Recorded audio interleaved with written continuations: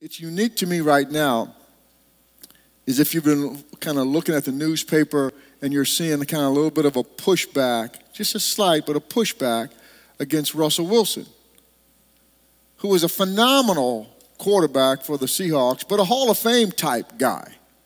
I mean, he's not just like a good quarterback, he's won the Super Bowl.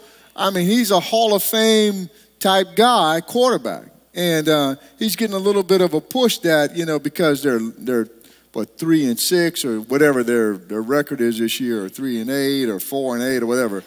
Uh, and it just doesn't look like they're going to get in the playoffs, and there's push, and he's game. And they forget that this guy just had an injury that you don't really come back from in the short time that he came back from it. But he just kind of pushed through it. And so, uh, in one of the articles that came on the Seattle paper, it says, and Russell Wilson was talking about it, and he says, My body of evidence uh, testifies that I am an overcomer. so I'm, I'm officially welcoming Russell into the house. You are an overcomer, Russell.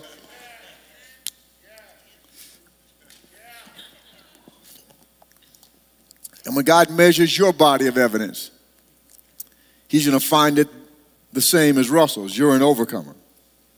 And that you've overcome the challenges of life and you will continue to overcome. Because it's not one incident, it's not a one day event, it's a life habit. Every month, at the beginning of, at the end of last year, we built the themes for this year. And today's theme is in a great house, there are great people. Great people are in a great house. God is the great God, and, and his house is a great house. Jesus said, In my Father's house, there are many great houses. He calls it mansions. There's many great houses in my Father's house. So we are the people of God, and God has designed us to do great things as His people. So when you look at the scriptures, you'll find uh, a mix of people. Some people that have done extraordinary things established by God, and some that have not. Uh, king David was a great king of Israel, and a powerful king, and a great leader. And uh, people talk about David in Israel, and city of David, Jerusalem, and all the wonderful things that David has accomplished as a king.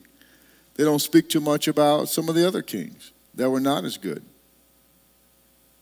Um, Jezebel, who was a queen in, is, is, you probably don't name your kid Jezebel. Jezebel, be just like her. I mean, she was a, just an awful king. Her husband, who was he? Ahab. And he wasn't a great king. He was influenced a lot by her, but he just didn't have the, the mettle to be a great king. Uh, both of them had left the planet. All of those have left the planet. David has gone into a place of honor, and the other two, not so much. I just want us to be, at the end of the time that we run our course, to be, great, be marked as great people in the kingdom of God. Daniel was a great man, powerful man. Esther, great woman, powerful woman, made an uh, orphan, and then she becomes the queen. And then she saves Israel and steps into an environment where she petitions and stands in the gap for her. And, and, and she's a little afraid to do it early. And her, her uncle Mordecai says, Are you kidding me? You're the queen. This is why God made you the queen for such a time as this. And if you're silent now, we will get deliverance from some other place because we are designed to overcome. But it's been designed to be through you to make your name great. You're one of the great people in the earth that's ever walked with God. Come on, girl. And then she goes, Okay. Everybody pray and fast with me. No food, no water. For three days. On the fourth day, I'm going to see the king. And if I perish, I perish. Now, you know how tough that is? I'm a fasting machine. I love to fast. I'll fast, I'll pray, but no food, no water for three days. It's different. I mean, she got on the fast track right into the presence of the king. So by the time when the king sees her, he goes, whatever you want. She hadn't even opened her mouth to ask for anything yet. He sees her, and immediately the anointing of God that's in her from her devotion to God is expressed in his heart. And he says, Here's the king. Whatever you want, whatever you want. She says, I wouldn't even bother you with this. And her enemy is right in the same room. And the thing flips in five minutes. This is the whole nation at stake, and it flips in her hand in five minutes. May God make you one of the great people in the kingdom. Do extraordinary things for you. You're the right, you're the right person at the right time in the right environment. And even though sometimes it's a little bit of a push up the hill and you can feel a little discouraged or down, it's unwarranted. It's unwarranted for you to be down. It's unwarranted for you to look at any challenge and any struggle, anything, feeling like you're not going to overcome it. You've already overcome it. You just don't know how all the time, and you have to let some of these things just kind of play its way out.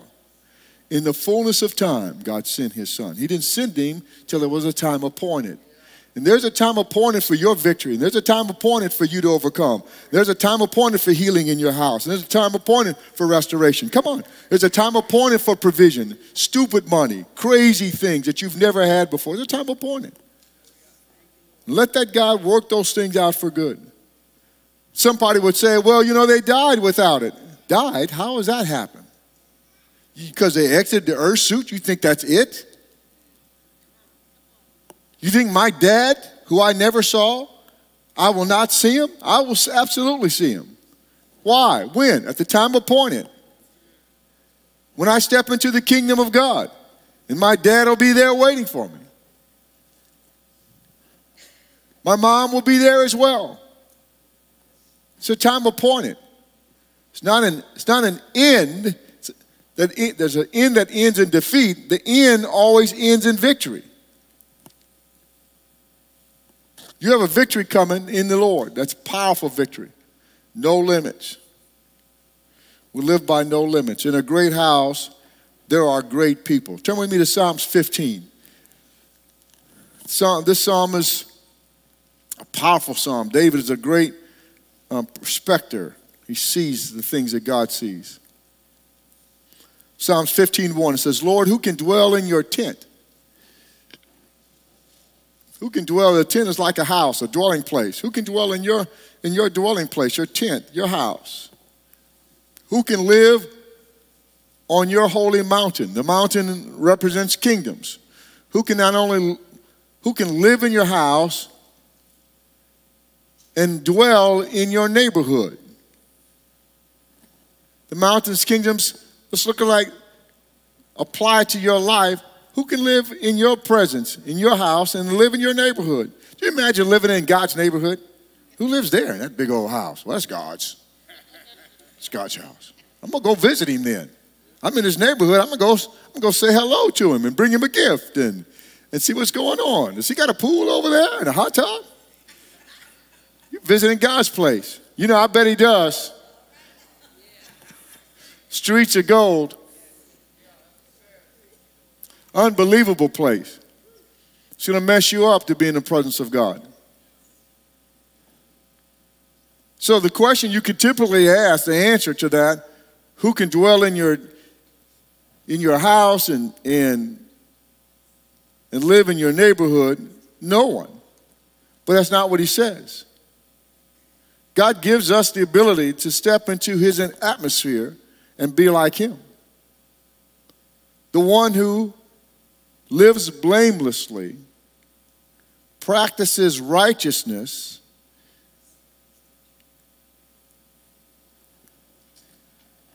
and acknowledges the truth in his heart. Let's, let's park for a second and look at those three. Lives blamelessly, practices righteousness, and acknowledges truth in his heart. Um, the word blameless means to be innocent or wholesome. It's a lifestyle, it's a life habit. Just a life habit. Now, America, when you're kind of judging America, there, there, there was a there was a time we, we did better and lived better and lived a holier life and a more faithful life than we, than we are as a nation right now. Um, doesn't mean the nation's bad, just means the nation's going through a season, a struggle, challenges. The one who lives blamelessly, innocent and wholesome. Make, make, make it a life habit that some of the things that are in your personal life are good things. So that you don't have to try to turn it off. You ever, you ever go in your kid's room and then they, they switch the channel real quick or uh, look to something else? And he's like, What are you doing? Nothing. You know they're doing something they didn't have no business doing. Or, because they switch it real quick. And sometimes, as humans, I think we will switch something real quick before God, and He's like, I already know. There's nothing hidden from me. There's no thoughts you have in your heart that are hidden from God. No, no disappointments, no struggles, no stuff like, oh, no good. And then your wife comes in and says, Hey, how's it going? You're like, Fine. You know, God already knows. So make, make a decision just to live blamelessly, innocent and wholesome. I'm just going to be innocent and wholesome. Now, listen, it's hard for you as a human to just mandate that to be, and it is. So you need help. So you, the helper, the, the comforter, the Holy Spirit is the helper. He will help you live blamelessly. But you have to want to do that. He's not going to force that. You don't give reward when you forced it. You give reward when the person has come voluntarily. Practices righteousness, practices doing the right thing. It takes practice to do the right thing. You're not just going to do the right thing always, all the time, but practice. If you make a mistake, own up to it. We are in the house of God. We're in, the, in his tent. We're in, living in his neighborhood. So if I make some mistakes, I'm just going to go to the throne and say, hey, my bad. I'm going to confess it. I'm going to get it out. There's one thing about me. I'm going to, I'm going to tell everything. I just made a decision a long time ago I wasn't going to have secrets. Plus, it's easier on my memory. Because if I have secrets and stuff, then I got to remember the lie that I told to cover up the secret and make sure that's congruent next time when I'm changing the story because I don't really remember. I just might as well just live in the truth. It's much simpler, much easier. Problem with living in the truth is when you do stupid stuff and people say, hey, what did you do yesterday? You can't say nothing. What'd you do? Nothing? Really? I thought I saw you and so and so. Was that you there? No? No? How close were you when you. Just live by the truth. Sometimes it's embarrassing to live by the truth, but I'm telling you, you'll get tired of the embarrassment. Practice righteousness. Practice doing the right thing. Um, it's costly, though. Pra- live blamelessly, practice righteousness, and acknowledges the truth in his heart. Accept, admit, and submit to the truth. I'm going to do what God asked me to do. And if I can't do it, I'm going to ask Him to empower me so I can do it. If, I don't, if I'm stingy and I don't want to give, I'm asking Him to give me a heart to give. If, I'm, if I lie all the time, I'm going to ask Him to give me a heart of truth. I'm not going to be a liar. If, I, if, I'm, if I'm antagonistic, I'm going to ask me to make me a sweet person, a kind person. One of the things growing up, I had I had a bit of a conflict for me as an athlete because as an athlete, you wanted, especially in football, you, you're a tough guy. You want that's that's in my mind. It was you had to be a tough guy. You had to be tough and strong and don't take you know no friends and puff things around and get uh, you you you, you crush you. You know that was my deal of being an athlete. Of being skill level was not what really was talked about. It was like toughness and strong. So I got that, right? Then I'm, but it had a bit of a dichotomy with my relationship with God. I mean, I was supposed to be nice to these people, but, but I really wasn't. So, and so I had, to, I had to try to separate the game from the life. And it was tough. Then it was tough. I, I step on the field and, you know, I was fast and strong, but I wasn't, I wasn't the biggest guy there. And, but I talked, I got an edge. I would talk. I could talk. So I get in the guy's head. I mean, I would be in his head like after like 10 minutes into the game. I, am talking trash. I'd done, done some study. I, you know, I know where he went to school and what he graduated in from. I'm like, hey, you know, you didn't, you know, I went to Stanford, you know. I'm to say it slow so you'll understand. Stanford. Oh man! So now you got you got a guy who's your opponent who thrives on excellence, and I'm the best, the strongest, and now you're getting his head. And once you could tell when you got in a guy's head, and so the Lord will start telling me, "Stop it." Stop doing that. I didn't create you and give you a voice that penetrates heart for you to do that.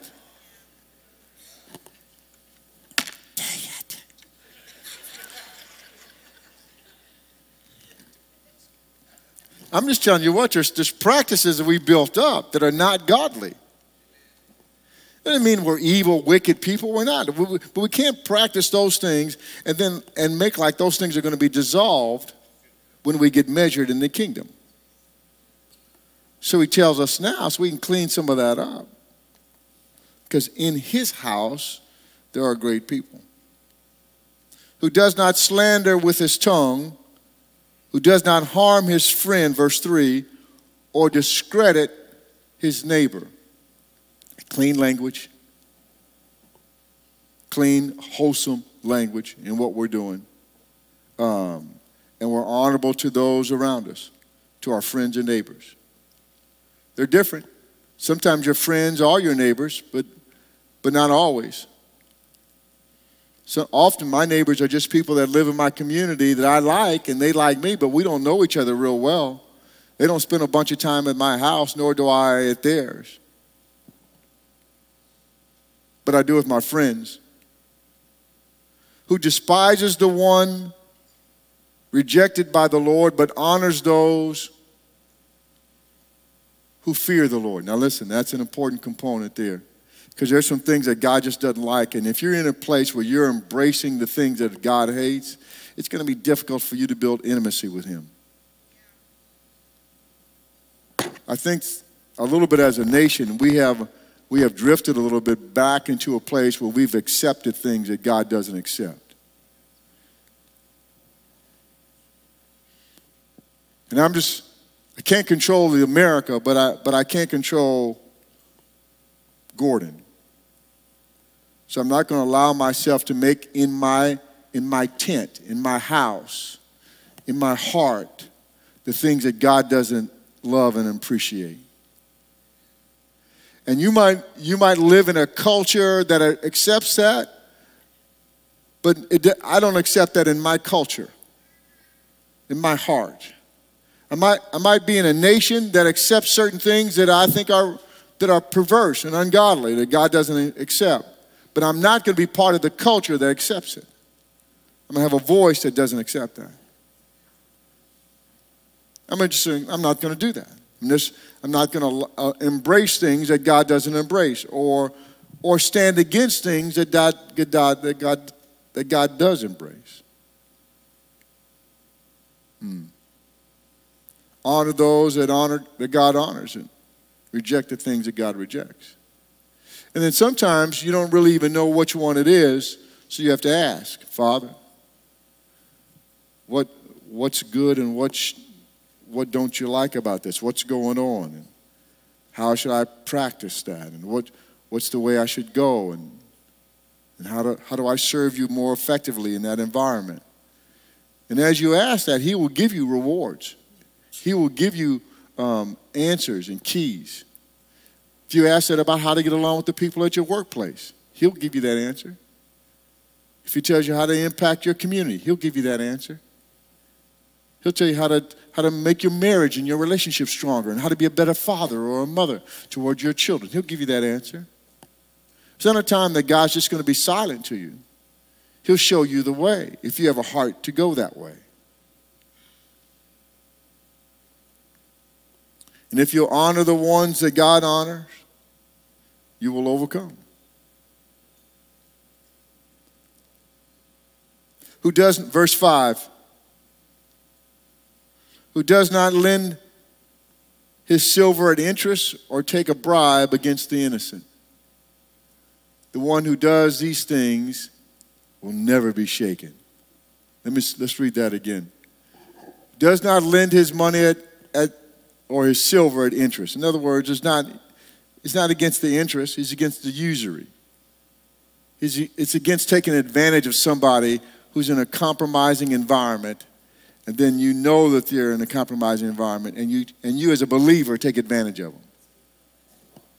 So this thing that was really a dollar is now $20 because they have to have it, and, they, and, and there's no other option. So you, so you abuse it. You take advantage of it. It's just, it's just ridiculous. It's, but it's the, it's the way the world runs supply and demand. If it's a slow, a low supply, high demand, then all of a sudden the same product now is three times as much, five times as much. It was like remember when COVID came and people were, well, you had a, you had a mask, and the masks were like ridiculously expensive to get a mask. You know, are you kidding me? These people need masks, and now because they need them and they're short supply, the price has gone up through the roof. It's just wrong. But that's the system of America. But it's not the kingdom. And you can live so much in a bad system that you start thinking that system is the system of the kingdom of God. It's not that system. God is a loving God. He's a merciful God, and He's a just God. And He'll give you almost everything, if not everything, for free. It's not our system. It's pay me. You owe me. I'm due this. Sometimes you can take that perspective into your personal life. And when things are not particularly good for you in a certain season, you're angry with God, angry with your family, angry with friends, thinking the world has owed you and they gypped you and they did you wrong, it's no good. Listen, you are a dead person. God released you from your sin and sent Jesus to die in your place, and you're now making a demand uh, at the grocery store?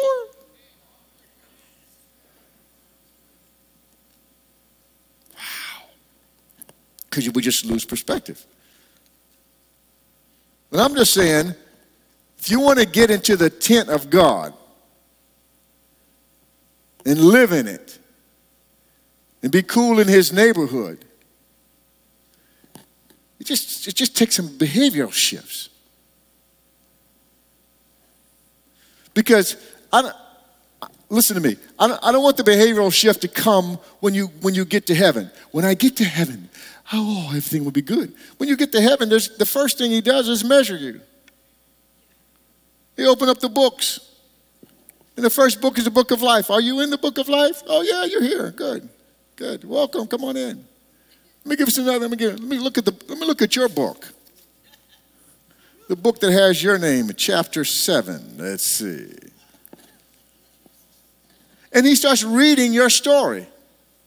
It's his story that he lived through you. And in the book, I don't think there's a bunch of things about what you did wrong. Yeshua has wiped those. In your book ought to be a book filled with a bunch of things that you did right. And all the times that you honored, and all the times that you sacrificed, and all the times that you gave, and all the times that you really were, could have struggled and you were, but you didn't, that you, that you turned and you did it His way. I just think, I just think sometimes people are going to come in, in the presence of God and, and have these books, and some going to have booklets. You know the difference between a book and a booklet? A booklet's just, a booklet's just some little, little pamphlet. It's be a quick story. Come on in, welcome, yay, celebrate. Oh, man, I want to tell you all the wonderful things you did. Okay, we're done. I've only been here eight seconds, yeah, I know. Let us have, let him spend his time. Start on a Tuesday and speak about you for months. Because in a great house, there are great people. When you read the scriptures, a lot of the scriptures are the stories of God's interaction in the lives of, of people. Great stories, powerful things.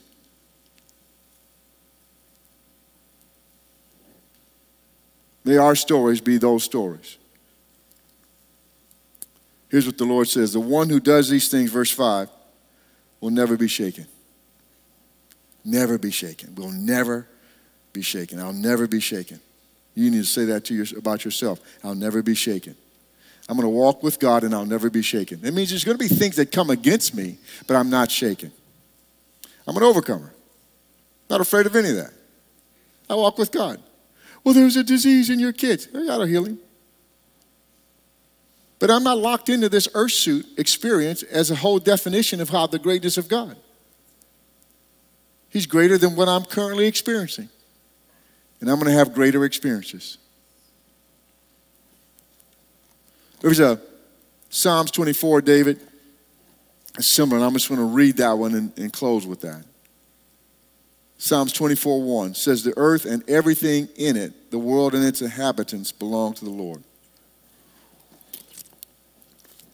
There's nothing that I'll ever encounter that, that does not belong to God. God has already controls everything. There's no issue, no challenges, no struggle, no company, no currency, no nation, no season, no time that God has not already mastered. There's no place you're ever going to be, no airplane you're ever on, no nation that you're not ever in that does not belong to God. It's always His. He's at every moment of every second of my experience forever. So I, I don't need to be afraid or angry or disappointed or struck or, or dysfunctional because God's in charge of everything all the time. It's a mindset. When you get that mindset, it'll settle you down. I've been on planes that have been, been shaky and struggling, and it's real quiet on the plane. And when you get, when you get on a plane and everybody goes quiet on you, it's because they are not sure what's next.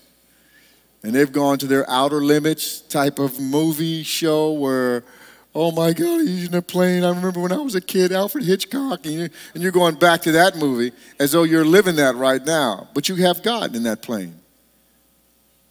I started realizing as long as I'm on the plane, I'm good because I have destiny and purpose. And everybody else is with me. So I would say to the Lord, oh, people were good. And when I was when I was when the, we, I was on planes that that uh, were kind of scary, I had to check myself because I was a little scared myself. There's not a moment that sometimes I'm on a plane or I'm in, a, in a, an environment that's risky and, and I don't have to do some, hey, let me remind you, Gordon, who you are. Shut up, fear. I'm reminding me who me is. Somebody have to do those because we're human. For he laid its foundation, verse 2, on the seas and established it on the rivers. Who may ascend the mountain, the kingdom of the Lord? Who can be, who may stand in his holy presence? And the easy answer is no one. Oh, God is so wonderful, there's no one. No, that's not the right answer. There's not, the, the answer is there is some qualifications for us to be in the presence of God all the time and for Him to be in our presence all the time so that you're never alone and you always overcome and you always prevail. And it's not like that guy, she's so lucky or she is so fortunate. No, she walks with God. And a relationship with Him is available to you, heathen. Heathen of life, come on. I'm going to pull you into the family of God. I'm going to show you how sweet it is and how wonderful this relationship with the King is. And it'll change everything for you, and you'll sleep peacefully at night, and everything will be abundantly provided. Abundantly provided. Well, I have nothing. I understand that. but God has decided to give you abundance. The one who has clean hands and a pure heart, who has not appealed to what is false, and who has not sworn, lied deceitfully, lied about things that you know are true and you lie. Or you tell a lie as though it's the truth. The one who has clean hands, a pure heart, who has not appealed to what is false, and who has not sworn deceitfully, he will receive, or she will receive, the blessing, the favor from the Lord, and righteousness, right standing with the, from the God of his salvation. Let me park just for a half a second. I'm running out of time. I want you to understand how important that is because sometimes as believers, you get to a place where you do something that you shouldn't have done, and then you wonder whether you're even saved. It's okay with God. I made a mistake. I don't know if I'm if I would die. I don't know. I'm so afraid because I did. I shouldn't have said that. But stop it. Stop that. That doesn't matter at all to God. You make some bad decision, some knucklehead stuff that you that you shouldn't have done, and now that that one moment's now defining your whole life. It's not defining your life. It's a bad decision. You, you shouldn't have done it. Repent from it and move on. Let it go. It doesn't define you, it doesn't track you. Well, you know, when I was seven years old, but stop it. You can't go back and retrack every mistake you've ever made as though God is recording those things. He did not record those. Yeshua washed them away. It's religion that holds you in this bondage that, that you can never effectively fulfill. If I could do it on my own, I wouldn't need Jesus. I don't need you, Jesus. Chill out for a second. Get some of these other heathens in. I am so holy that I could stand in the presence of King, of the, of the great God of heaven and earth. I can't. I needed Jesus too. Scripture says he will receive, verse 5, the blessing from the Lord, favor from God and righteousness, right standing from the God of his salvation. Such is the generation of those who inquire of him, who seek the face of the God of Jacob. Now listen, Selah, the word Selah, think about it, consider it, muse on it. Get in pursuit. Here's my call to you get in pursuit and restructure anything in your life that does not heighten or draw or intensify the presence of God in your world. I don't control your metron, you control your metron. Build what's in your metron, the things that establish it, so that can, you can build that in your children and in your children's children, in your family, and all those things around you will be strong and powerful and mighty as you develop that. And you become the great, great people, a great person in a great house. You build a great house and you're a great person in a great house so that when God comes by, he wants to be in your house. I love this house. I love being here. These are my people, my friends. And that blessing comes and lives in your house and lives with your children and lives with your future and provides for you. And then when there's a need, you can call on God and He's quickly, He quickly responds to whatever your need, even before you ask. God is there performing it and doing things for you. But it's not about what He does, it's about empowering you to be the difference maker in the lives of those all around you and drawing them into the kingdom. Father, help us to live the way you've designed for us to live holy and acceptable and faithful and righteous. Empower us by your Spirit. Do extraordinary things, God. You're the extraordinary God doing extraordinary things do extraordinary things in the, the lives of us, your sons and daughters, all of us individually and all of us collectively.